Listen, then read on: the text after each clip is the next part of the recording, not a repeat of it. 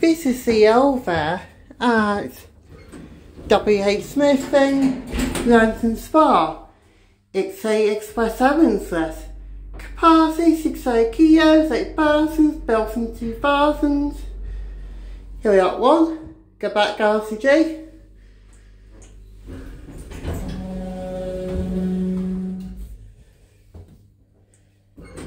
Go close as far push the button. I like that. Look how see. Hang on. Here we are back at G.